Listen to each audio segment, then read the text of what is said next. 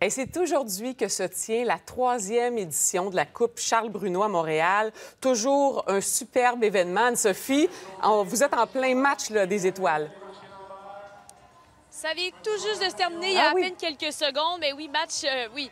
Bon, match des étoiles, match des célébrités qu'on l'appelle parce que ça réunit euh, des célébrités, mais surtout les trois enfants héros du jour. Hein, parce qu'à chaque année, lorsqu'il y a l'édition soit c'est la Coupe euh, Charles Bruno, le Tour CIBC, le, 24 heures tremblant. Il y a toujours des enfants héros qui sont là pour euh, bon, parler de la cause et parler de ce qu'ils ont vécu. Cette année, c'est Mathis, Eva et Benjamin, ces trois enfants. Les trois sont en rémission. Ils vont bien. On les a rencontrés, ont une belle histoire à partager.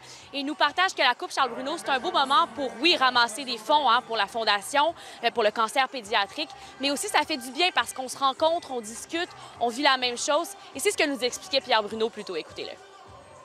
On fait pause sur la maladie pendant quelques heures et puis on, célèbre.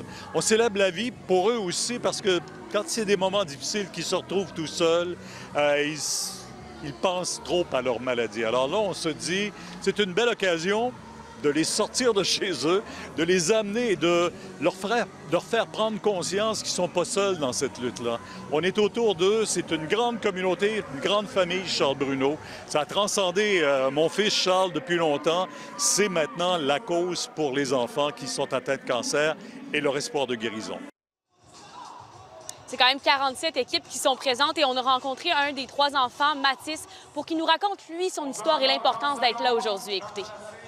J'ai eu des traitements de chimio euh, à l'hôpital. J'ai eu quatre traitements. Ensuite, j'ai eu une greffe euh, pour un nouveau foie. Puis ensuite, j'ai reçu deux autres euh, traitements de chimio pour compléter le tout. Est-ce que tu vas bien aujourd'hui quand même? Oui, je vais très bien. la santé est revenue la forme aussi. Ça a été notre héros dès le début. Euh, c'est sûr qu'en tant que parent, on trouve ça difficile. On, on, trouve que la vie est difficile. Pour lui, pour nous, on aimerait prendre son mal. Mais ça n'a pas été long. On a vu que c'était notre force. C'est la personne qui avait le plus d'énergie pour passer à travers.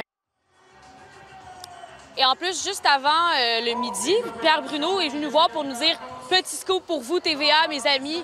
Coupe Charles Bruno. Il va en avoir une deuxième l'année prochaine à Québec et à Montréal. Donc, c'est une bonne oh, nouvelle. Encore plus de fonds pour le cancer pédiatrique. La fondation qui continue de grossir et d'aider ces enfants-là qui vivent des moments difficiles. Mais aujourd'hui, on entend des belles histoires et des enfants en hmm. rémission. Ça fait du bien.